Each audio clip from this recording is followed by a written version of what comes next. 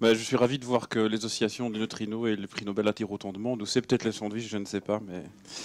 Alors, euh, je, vous, euh, je vous rappelle rapidement quelques propriétés de, de la matière qui nous entoure, le modèle standard de la physique des particules.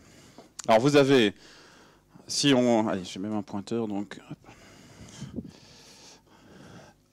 La matière, je ne sais, pas moi qui ai fait ce graphique, donc je ne sais pas pourquoi ils ont choisi une vache.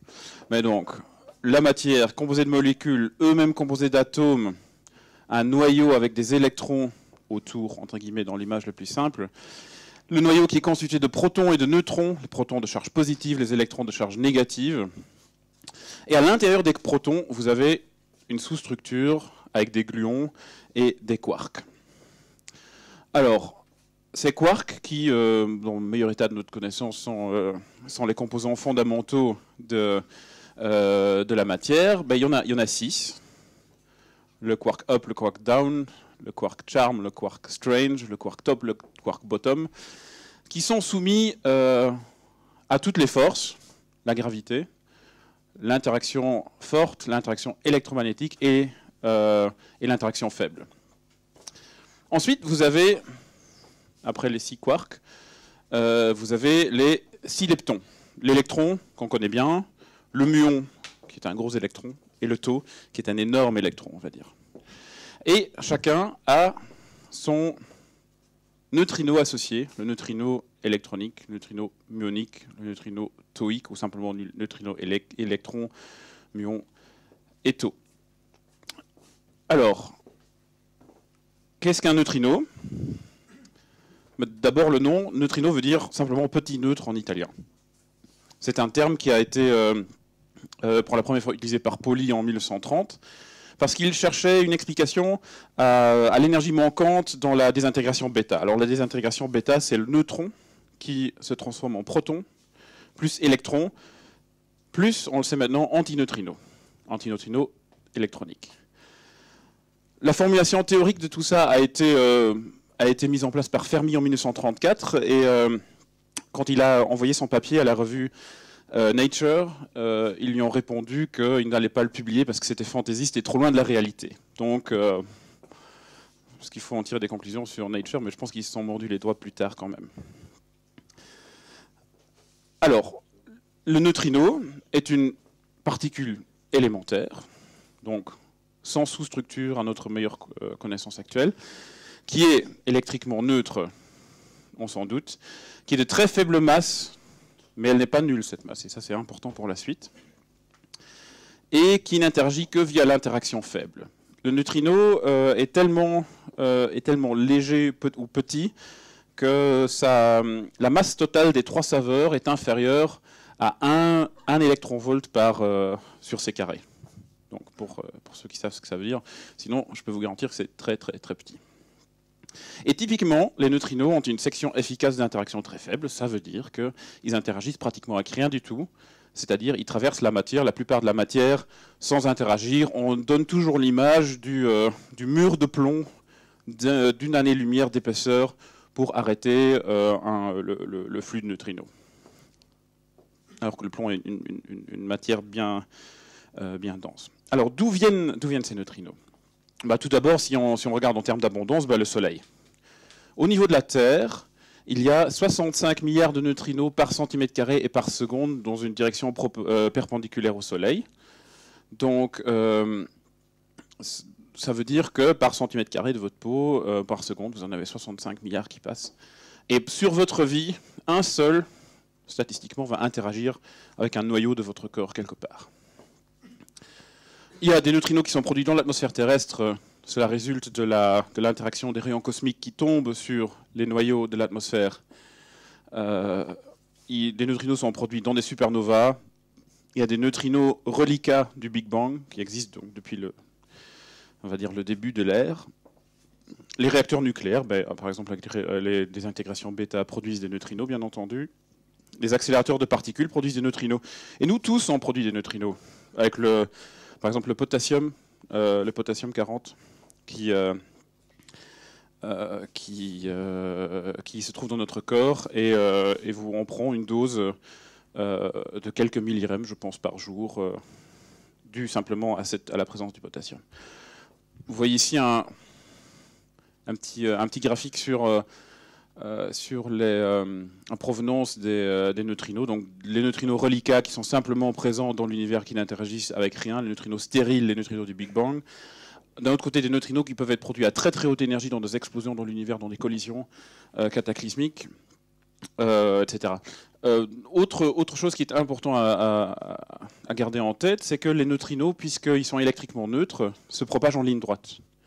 Donc, quand on arrive à en détecter, ce qui, je, vous ai dit, est rare, euh, bah, ils pointent la direction dans laquelle ils sont venus, ils pointent toujours vers la source où ils ont été produits. Ce qui n'est pas le cas d'une particule chargée qui peut être, qui peut être déviée par des champs magnétiques euh, euh, interstellaires. Alors, le, le neutrino, ce n'est pas la première fois qu'on le prime au prix Nobel.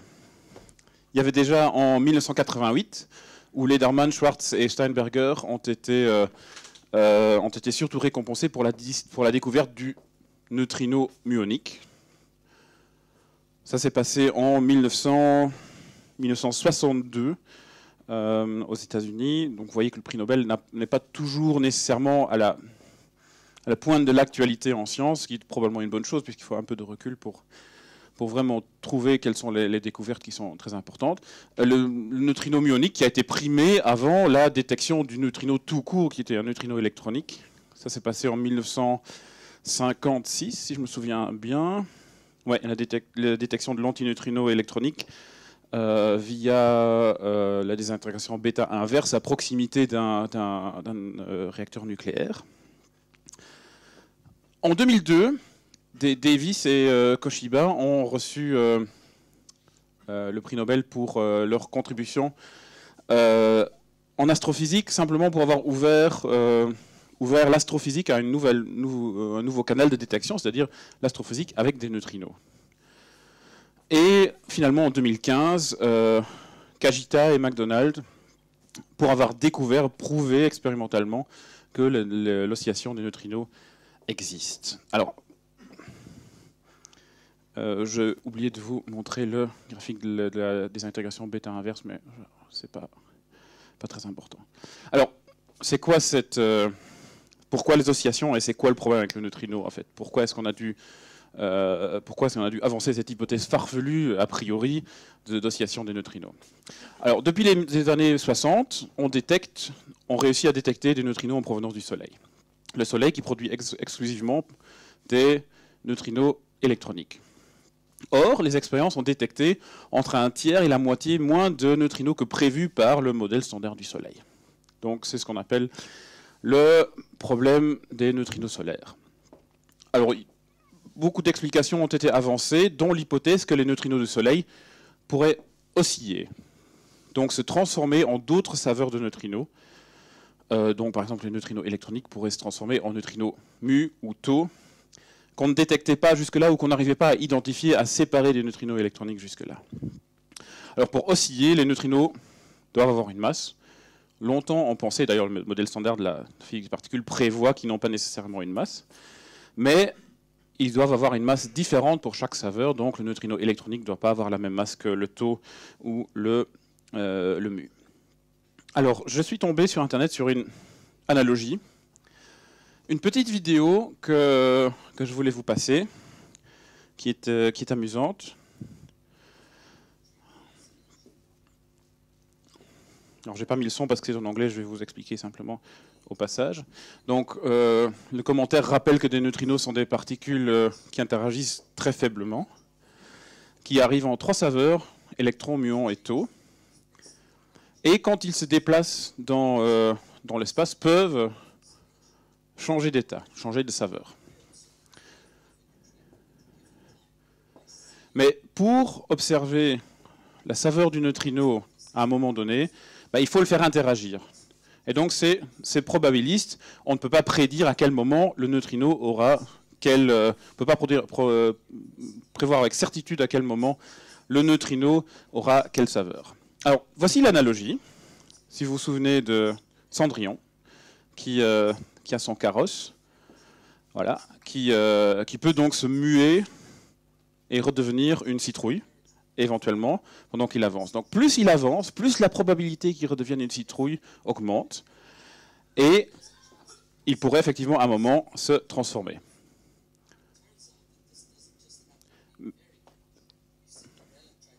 Alors si maintenant Cendrillon euh, s'asseyait sur un neutrino, ok,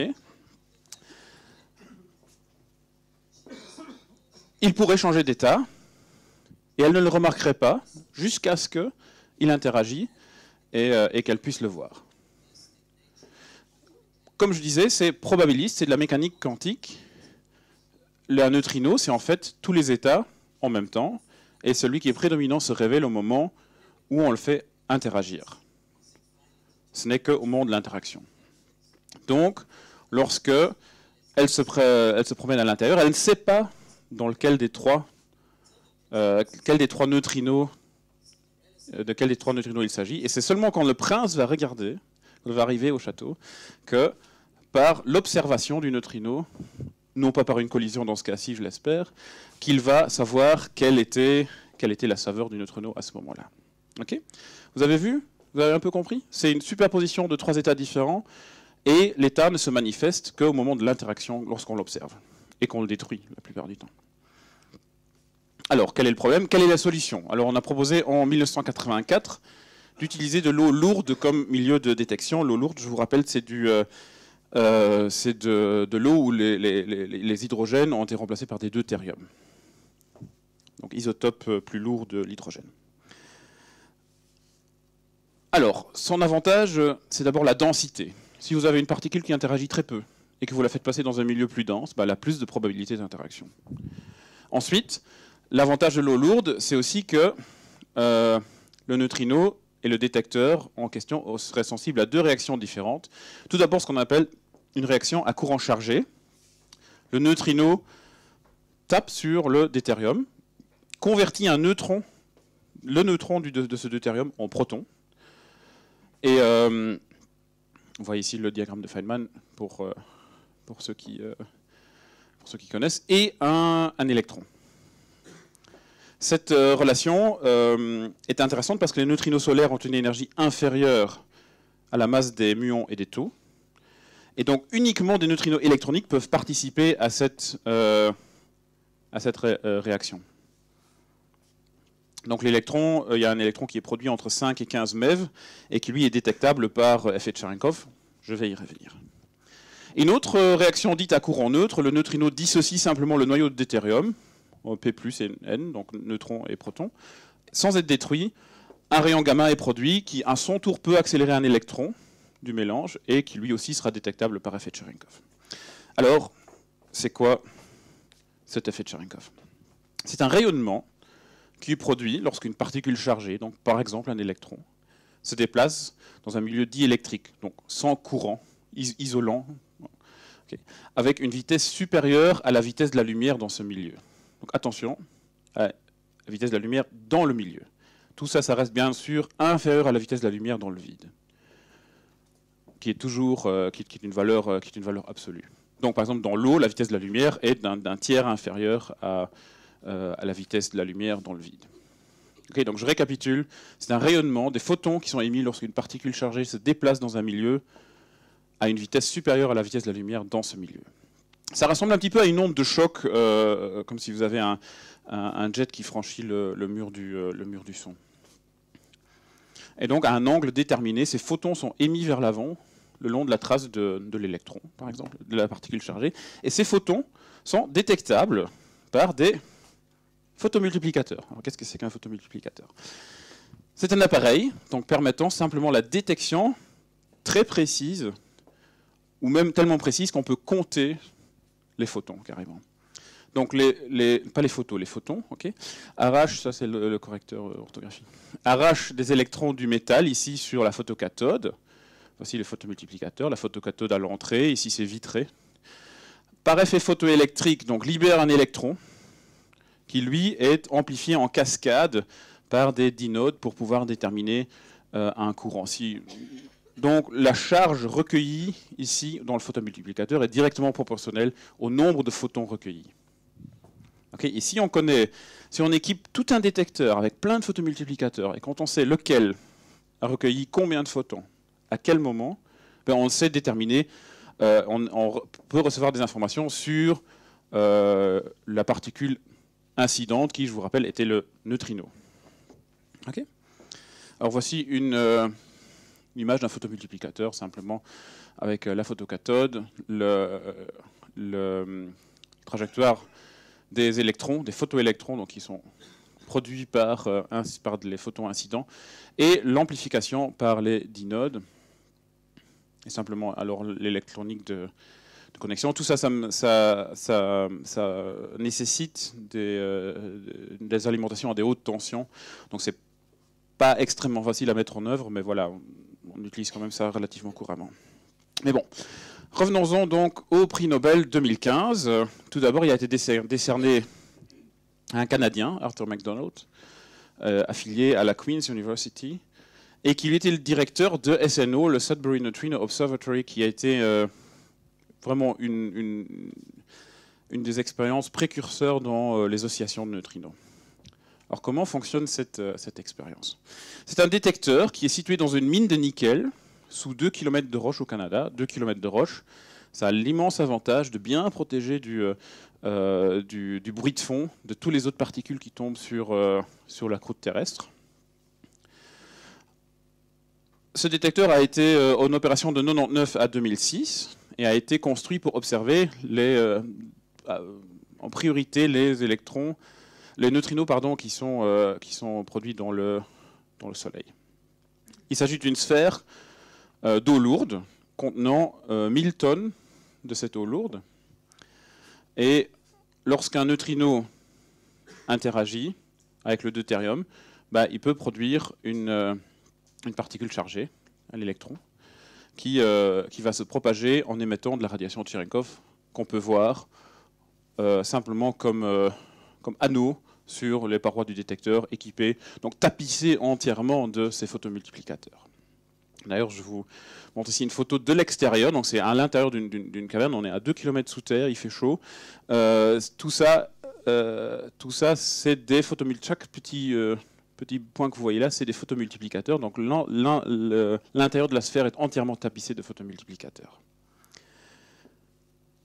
Alors, les résultats principaux de SNOW, de cet observatoire, étaient en, 2001 bah, les premiers résultats scientifiques qu'il a, a, publié et qui apportait la preuve que les neutrinos pouvaient changer de saveur sur leur chemin depuis le Soleil, simplement parce qu'on avait réussi à mesurer le déficit et identifier, identifier les autres neutrinos. Je vous ai dit tout à l'heure, euh, dans l'eau lourde, les deux types d'interactions sont possibles et détectables. Donc, si les, oscillations effectivement existent, cela implique donc que les neutrinos ont une masse, on le sait depuis un moment, euh, et que les masses des trois saveurs de neutrinos sont différentes. je dis bien depuis un moment, ça fait qu'une petite vingtaine d'années qu'on le sait. donc on est encore dans un domaine de, pointe ici. Le deuxième lauréat du prix Nobel, c'est Takaki Kajita, physicien japonais affilié à la University of Tokyo, et qui lui travaillait sur euh, le détecteur qu'on appelle Super Kamiokande, Super Kamioka Neutrino Detection Experiment, qui se situe donc euh, au milieu du Japon. Lui aussi se situe sous terre. C'est un cylindre de 40 x 40 mètres à peu près, contenant 50 euh, 000 tonnes d'eau ultra pure. Il a été construit pour analyser des neutrinos solaires, mais également des neutrinos en provenance d'autres euh, phénomènes, euh, phénomènes, dans l'univers, comme des supernovas par exemple, ou d'un accélérateur qui est situé à quelques centaines de kilomètres de là. Même chose, le Super, Super analysait surtout les neutrinos muoniques qui arrivaient directement depuis, euh, euh, l'atmosphère, qui étaient produits dans l'atmosphère, et regardait à quel taux éventuellement ils oscillaient euh, en neutrinos taux. Voilà un, schéma du détecteur. Et voici une photo de l'intérieur. Vous voyez, encore une fois ici, tout ça est tapissé de je crois qu'il y a 5000, 5000 photomultiplicateurs à l'intérieur et donc rempli. Donc là, là il, est, à moitié vide pour de, voyez, de, personnes qui travaillent là, ce qui vous donne une comparaison aussi de la taille. donc ça, c'est deux personnes dans une barque qui sont en train d'entretenir un, euh, un des photomultiplicateurs. En 2001, cette expérience a eu un, accident. la paroi d'un des photomultiplicateurs a été, a été fragilisée. Tout ça, ça fonctionne sous vide, les photomultiplicateurs. Hein. donc pour éviter, euh, tout simplement pour rendre les réactions de détection possibles. Euh, et euh, quand il était à moitié rempli, il y en a un qui a lâché. Et, il y a eu une implosion. Et cette implosion s'est propagée dans l'eau, comme une onde de choc. Et ça a détruit la moitié des, des, photomultiplicateurs, là-dedans, c'est-à-dire tous ceux qui étaient en gros sous le niveau de l'eau. Donc ça a été à l'arrêt pendant un petit moment après ça. Euh, ils ont renforcé, bien entendu, les, parois des photomultiplicateurs. Ils, tournent de nouveau depuis, un, an et demi plus tard. Ils étaient de nouveau euh, en route. Donc, Super K, Super Kamiokande, euh, c'était plutôt donc concentré sur les neutrinos muoniques et les avait mis en évidence, avait mis en évidence leur oscillation vers l'état neutrino taux déjà en 1998. Par ailleurs, euh, Super K a aussi mesuré des propriétés de neutrinos et par exemple a posé une limite sur la durée de vie du, proton, euh, qui, comme vous, le savez, est, est supposé euh, stable comme particule, ce qui nous arrangerait bien. Enfin, s'il ne l'était pas, on serait peut-être plus là. Donc. Alors, juste pour satisfaire les plus, les plus curieux, rapidement, un tout, tout petit peu de théorie, même seulement entre guillemets. La, le premier qui avait euh, prédit l'oscillation des neutrinos, ou proposé, c'était Bruno Pontecorvo en 1956. Et puis, quelques années plus tard, euh, Maki Nakagawa et Sakata ont supposé dans un article que ce que l'on observe du neutrino n'est en fait, comme je disais tout à l'heure, qu'une superposition de trois états possibles, de plusieurs états de masse propre, en gros, et on va appeler ça la saveur. Ils élaboraient une première version de ce qu'on appelle la matrice de mélange, donc euh, la matrice Ponte-Corvo euh, Nakagawa Sakata. C'est un peu comme, comme dans les quarks euh, Kabibo Kobayashi Maskawa. Donc on apprend à parler du japonais quand on, est, quand on fait de la physique des particules. On doit pouvoir le dire dix fois de suite aussi. Hein. Donc, donc, si vous voulez, ici, vous avez dans, l'état, donc la, première version, quand on connaissait que le neutrino électronique et le neutrino tau, vous voyez ici deux états qui sont un mélange euh, de, de, deux états propres. Ou alors, dans vous pouvez l'exprimer dans l'autre sens si vous voulez. Euh, alors, si on prend en compte les trois saveurs, par exemple, vous avez ici euh, les trois le vecteur avec les, les trois saveurs, la matrice PMNS, pardon, et les trois états propres des neutrinos. On peut décomposer cette matrice je ne peux pas vous, euh, pas vous détailler le, calcul. Mais ce qui est important à savoir ici, c'est que, euh, ce qui apparaît ici comme, coefficient, c'est des angles, des angles de mélange entre les trois états différents. Et expérimentalement, c'est ces angles de mélange-là qu'on va mesurer pour, euh, donc bien caractériser les oscillations. Alors c'est difficile à mélanger parce que les masses sont faibles et très proches. mais pour comprendre un petit peu, cette matrice, c'est quoi? C'est la probabilité qu'un neutrino donné une saveur donnée a de se retrouver euh, avec une masse propre euh, I, où I est l'indice ici 1, 2 ou 3. voilà. Alors, on peut pousser le calcul plus loin et déterminer que la probabilité de voir une oscillation augmente avec l'augmentation de la différence du carré des masses. Donc, plus les masses sont différentes, plus il y a de probabilité d'oscillation. Elle diminue avec l'énergie des neutrinos, donc plus les neutrinos ont de l'énergie, moins il, est probable qu'ils interagissent, euh, qu'ils oscillent, pardon. Euh, euh, et, logiquement aussi, ça c'est probabiliste simplement, plus ils parcourent d'espace, bah, plus il y a de probabilité qu'ils interagissent, qu'ils oscillent. Donc voilà, un petit peu de ce, que le prix Nobel a récompensé cette année-ci. Qu'est-ce qui se fait C'est des expériences qui remontent à pas tellement longtemps, une, dizaine, quinzaine d'années.